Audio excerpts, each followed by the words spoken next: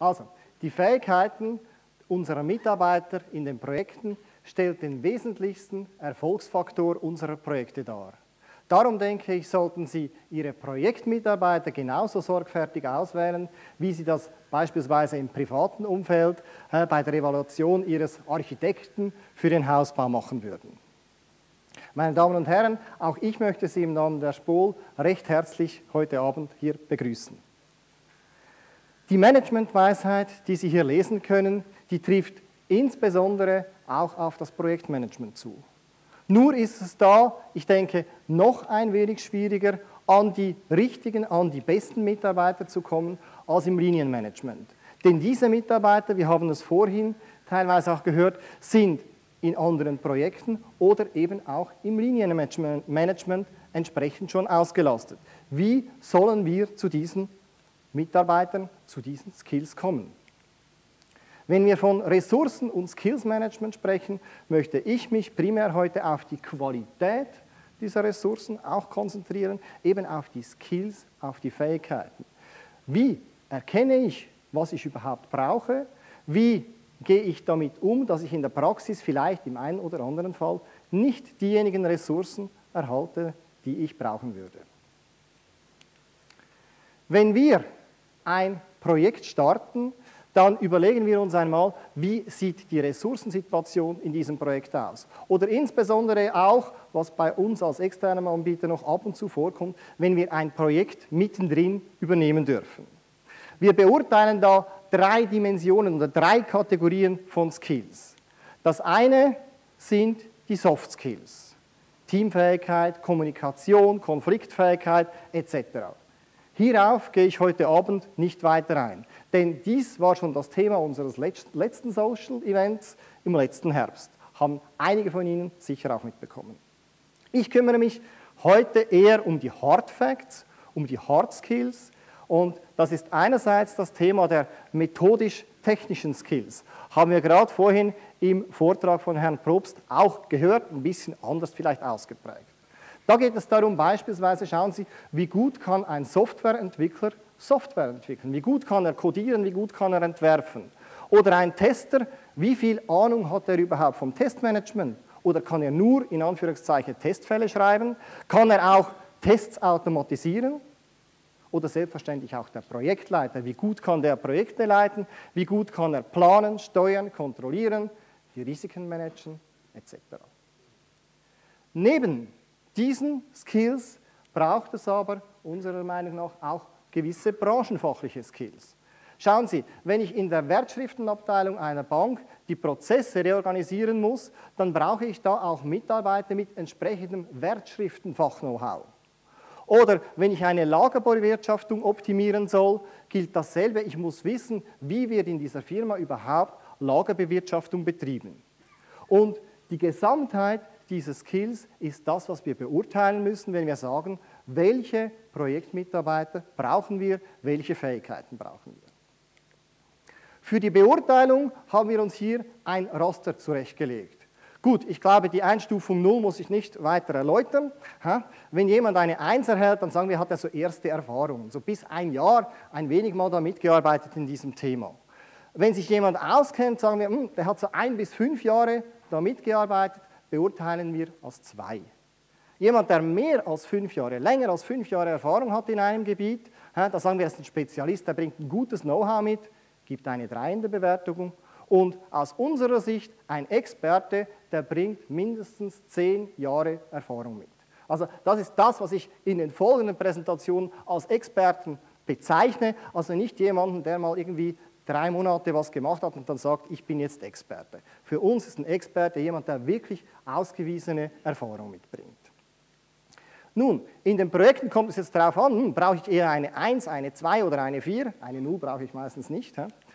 Äh, bezüglich den methodisch-technischen Skills macht da die Skalierung primär die Projektgröße aus, die Projektdauer auch. Ah, wir können auch sagen, die Projektkomplexität, nur ist schwer fassbar. Auf der branchenfachlichen Seite sehe ich da primär die, wirklich die fachliche Komplexität oder allenfalls die strategische Ausrichtung. Stellen Sie sich ein Reisebüro vor, ja, vielleicht kennen Sie das Beispiel aus dem Buch von Bruno Jeni. Stellen Sie sich ein Reisebüro vor, das schon diverse Produkte auf dem Markt hat, diverse Reiseangebote und das will nun ein neues Angebot kreieren, eine Weltreise. Aber das geht nur in Anführungszeichen hin und pappt da die einzelnen Angebote, die es schon hat, zusammen und macht da ein neues Produkt daraus, eben eine Weltreise. Das braucht vermutlich nicht so große branchenfachliche Skills, wie wenn dasselbe Reisebüro hingeht, äh, in einem kleineren Projekt vielleicht ein komplett neues Produkt generiert.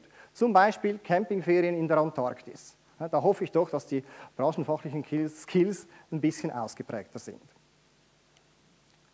Wie müssen wir dann vorgehen, wenn wir die Fähigkeiten ermitteln wollen in unseren Projekten? Wie müssen wir mit dem Skillmanagement umgehen? Zunächst einmal müssen wir wissen, welche Skills benötigt denn das Projekt überhaupt? Und eine wichtige Zusatzfrage, wozu brauchen wir diese Skills? Schauen Sie, wenn Sie einen Maurer brauchen, dann ist das ein Unterschied, ob Sie den brauchen, um eine Mauer zu erstellen, sprich die Steine aufeinander zu beigen und irgendwie damit Mörtel zu verkleben, oder ob Sie einen Maurer brauchen, um zu beurteilen, ob die Mauer, die da gebaut wird oder gebaut wurde, korrekt, richtig gebaut wird, äh, dass, ob die entsprechend stabil ist. Einerseits ist es ein Unterschied, äh, der, der erste Fall, da muss der Maurer physisch fit sein. Im zweiten Fall können Sie auch den nehmen, der vor zwei Wochen vom Gerüst gestürzt ist und jetzt den Arm im Gips hat, sofern er natürlich die entsprechende fachliche Erfahrung mitbringt. Wichtig ist aber auch die Unterscheidung, in welcher Menge brauche ich die entsprechenden Skills. Den Maurer, der die Mauer baut, den brauche ich vermutlich zu 100 Prozent, während er die Mauer baut, sprich während eines gewissen Zeitraums. Den Experten, derjenigen, der das beurteilt, der brauche ich zu weniger Prozent, vielleicht mal sporadisch eingesetzt. Wenn ich das geklärt habe, für alle Fähigkeiten, die ich da in meinem Projekt brauche, dann geht es mal um die Beschaffung dieser Ressourcen. Beschaffung, das kann intern sein oder extern. Ich hoffe es schwer, dass Sie die branchenfachlichen Skills primär intern beschaffen können. Denn wenn Sie in Ihren Firmen die, das Fach-Know-how nicht vorhanden haben, dann denke ich, dann haben Sie ein anderes Problem. Hingegen die methodischen, die technischen Skills, die können zumindest teilweise problemlos auch extern evaluiert und beschafft werden. Nun aber zum wichtigsten Punkt auf dieser Folie, deshalb ist er auch fett hier. Sobald Sie jetzt wissen, welche Mitarbeiter Sie zur Verfügung haben, gehen Sie hin und prüfen Sie, ob das, was Sie jetzt da erhalten, was Sie jetzt einsetzen können an Mitarbeitern, ob das dem entspricht, was Sie eigentlich brauchen oder was Sie gedacht haben, was Sie brauchen. Denn jetzt haben Sie die Möglichkeit, frühzeitig zu agieren und nicht erst spät hektisch zu werden, wenn es zu spät ist und dann zu reagieren. Wenn Sie einen Datenbankadministrator anfordern für ein Informatikprojekt und Sie erhalten jetzt wirklich einen Datenbankadministrator, einen eigentlich Top-Crack, Sie stellen jetzt aber frühzeitig, zwei Monate vor dem Projekt fest, hm, das ist ein guter Datenbankadministrator, nur leider auf der Oracle-Datenbank, die wir im Projekt einsetzen, da ist er noch nicht wirklich der Crack. Dann haben Sie die Möglichkeit, den in den nächsten zwei Wochen, noch äh, zwei Monaten, vielleicht noch irgendwie in einem Kurs zu versorgen, dass er sein Know-how da entsprechend aufbauen kann.